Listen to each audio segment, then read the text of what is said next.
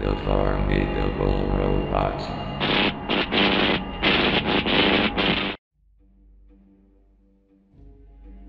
We thought it was done. We thought it was fucking done. No.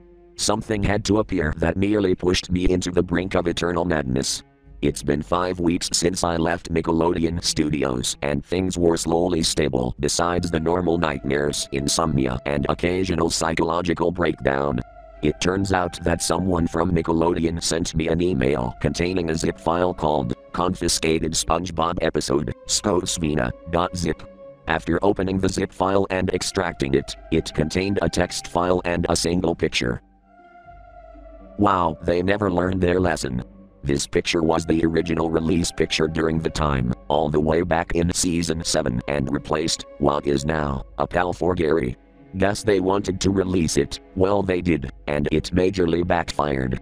According to two of the directors, Peter Shaft and Johnny Kilsberg, they reported that they've seen the original three episodes after recovering the footage from their respective places. They wanted to make an episode in the perspective of the Bikini Bottom Police. At the time, it was different. An episode not focusing on SpongeBob? It was pretty big, but again, backfired horribly. Now for the moment everyone's been expecting the episode. It started with a black and purple title card. Skovsniet. I heard that name before, though it is fucking hard to pronounce. I paused the episode and looked at the artist. Horker. In the album Concrete, there is a name that's slightly familiar.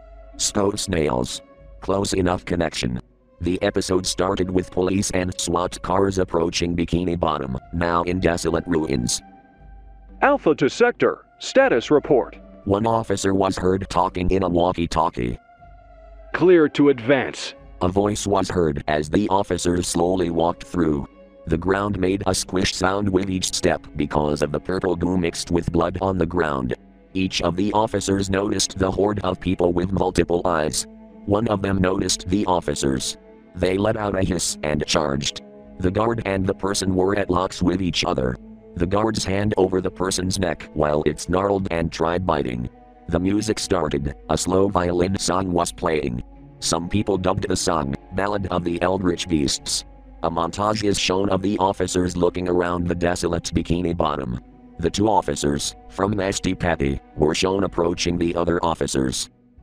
So, what happened to this city? One of the officers asked, We've got multiple reports of monstrous behavior that concern most officers. We tried to defuse the situation, but we were chased by two of the beasts. The male officer said. The female pulled out a video of the two being chased by Gibbon and Onitath, with two screams heard, followed by hiss and a near-rapingly loud roar.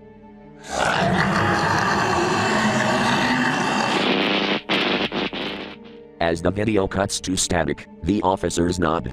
Another montage was shown.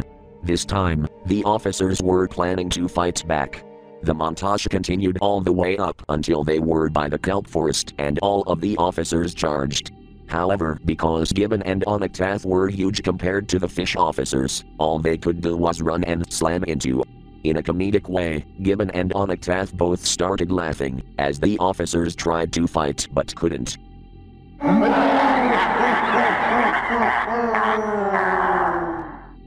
As the two finished laughing, the two slammed their feet, causing the officers to shake off.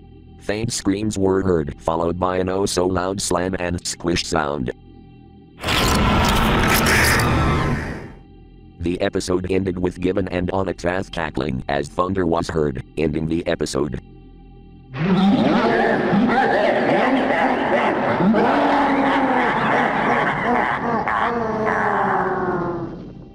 Credits were changed, which surprised me. Instead of listing off the people who made the episode, it only showed a symbol, a series of triangles with a purple eye. The background music sounded like a badly played version of the credits song with an occasional piano key heard. I was just about done with this. I could finally call off on this whole entire experience. Before I do end off the series entirely, I want to point some things out, like the name of the story's called The SpongeBob Eldritch Universe. I call it as such because it goes from a simple series of SpongeBob episodes to a whole entire Eldritch universe conducted by an Eldritch cult. Another was the pictures of Gibbon and Onictath. As much as I would consider getting someone to draw the pictures, no one would want to listen to my story nor want to draw it because of how complicated it was. This whole AI thing I kept hearing about seemed the only way to have someone draw my fears. Finally, how am I doing entirely?